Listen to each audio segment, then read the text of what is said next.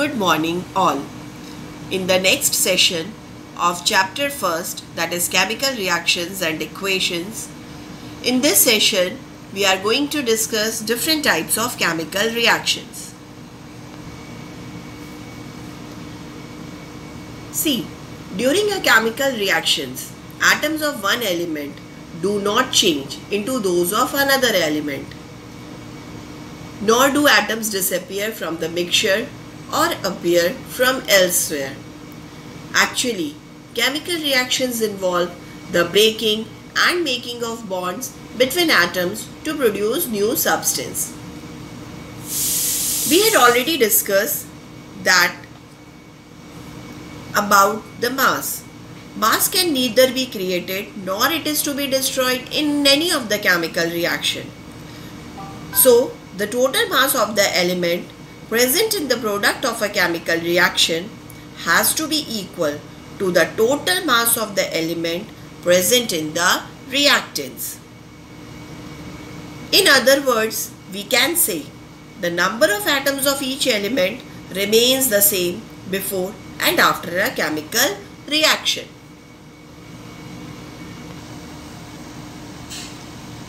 First type of chemical reaction which we are going to discuss that is combination reaction. A combination reaction is a reaction where two or more elements or compounds combine to form a single compound. Such reactions it may be represented by equations of the following form. That example is given x plus y. It gives xy. The combination of two or more elements and form one compound is known as is called combination reaction. Just see the in the example for combination reaction see 2H2 plus O2 two. Elements are there hydrogen and oxygen which are combining together and it is giving a single compound. That is what? It's a water. So 2H2 plus O2, it gives 2 molecules of water. Now next type of chemical reaction that is decomposition reaction.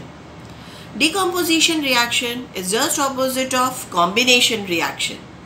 See in this, a decomposition reaction is a type of chemical reaction in which a single compound it breaks down into two or more elements or new compounds.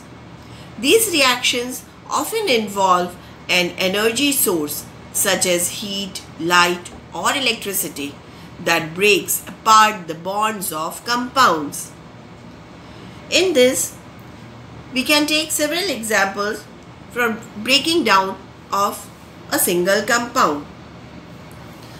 I have given in fact in this, I have taken in fact in this two examples okay I can discuss with one more example.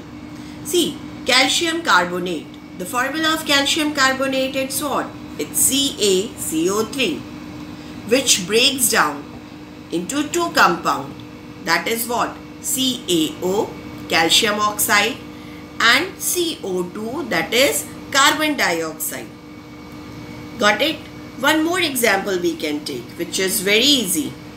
That is silver chloride AgCl or you can take two molecules of AgCl which gives two molecules of Ag and Cl2.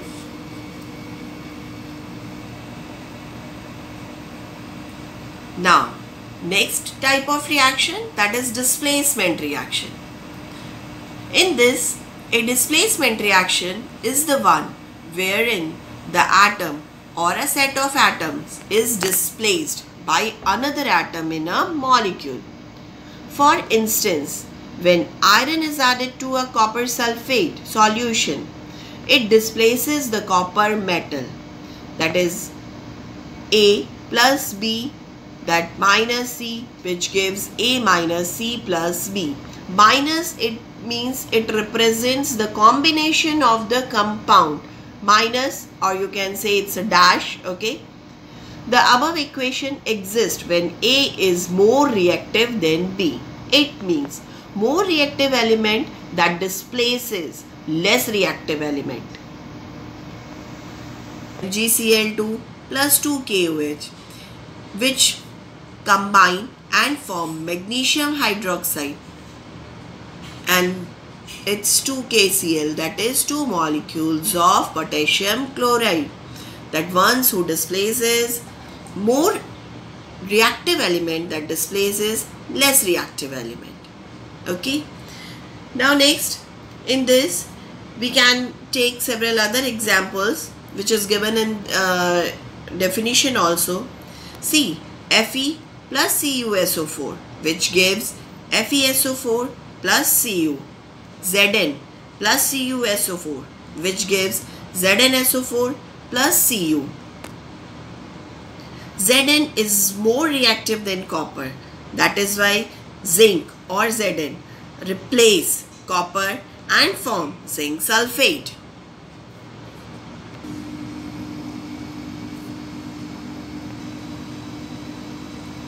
Now next is double displacement reaction.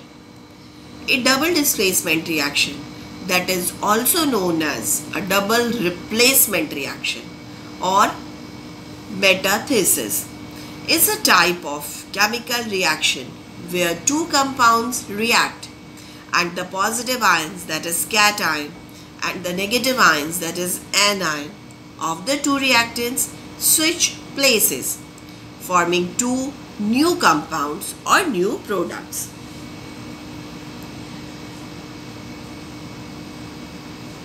See, this is also known as precipitation reaction because insoluble substance which is formed, that formation is, is known as precipitation. Any reaction that produces a precipitate can be called a precipitation reaction. See one example I have taken that is interchange of groups of atoms that is ions. It may be cations or anions. In this I have taken Na2SO4. Na2SO4 that is sodium sulfate. Sodium sulfate when it react with barium chloride the formula of barium chloride is BaCl2. Two new product will form or two new compound will form so what will form? It form BaSO4 that is barium sulfate and sodium chloride. Both the compounds which are formed both are new and this is no Now next is oxidation and reduction. It's also known as redox reaction. Redox is a type of chemical reaction in which the oxidation states of atoms are changed. Redox reaction are characterized by the actual or formal transfer of electrons between chemical species. Most often with one species undergoing oxidation while another species that undergoes reaction, reduction. See, if a substance gains oxygen during a reaction, it is said to be oxidized. If a substance loses oxygen during a reaction, it is said to be reduced. I have taken one example that is copper plus magnesium. Copper in this, in the product form, it is simply giving copper. Copper ions which is giving copper. In this reduction by gaining of electrons. Next for the magnesium. Magnesium in the product form it is giving magnesium ions. That is what? Oxidation by loss of electrons.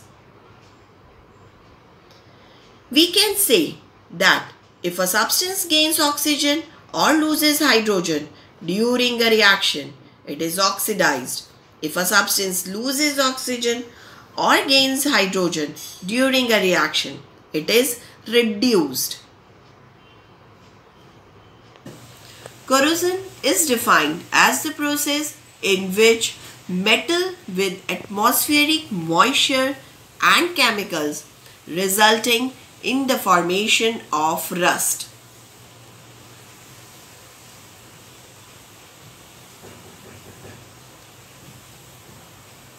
Iron articles are shiny when new but get coated with a reddish brown powder when left for some time. This process is commonly known as rusting of iron. Some other metals also get tarnished in this manner. When a metal is attacked by substance around it such as moisture, acid, etc., it is said to be corroded and this process is called corrosion. The black coating on silver and the green coating on copper are other examples of corrosion. See, corrosion causes damage to car bodies, bridges, iron railings, shades and to all objects which are made up of metals, especially those of iron. Corrosion of iron is a very serious problem. Every year an enormous or huge amount of money is spent to replace damaged iron. Now next is rancidity. Have you ever tested or smelled the fat or oil containing food materials left for a long time? See, rancidity is a condition in which the substance with oil and fats get oxidized when they are exposed to air. A substance is said to be rancid when there is a change in smell, taste and color. An example you can take, an example of rancidity is when chips pack is exposed to atmospheric air which result in a change in taste and odor. This is one of the best example of rancidity. See student, usually substances which prevent oxidation, which are also known as antioxidant, are added to foods containing fats and oils. Keeping food in airtight containers helps to slow down oxidation. So, this is all about corrosion and rancidity.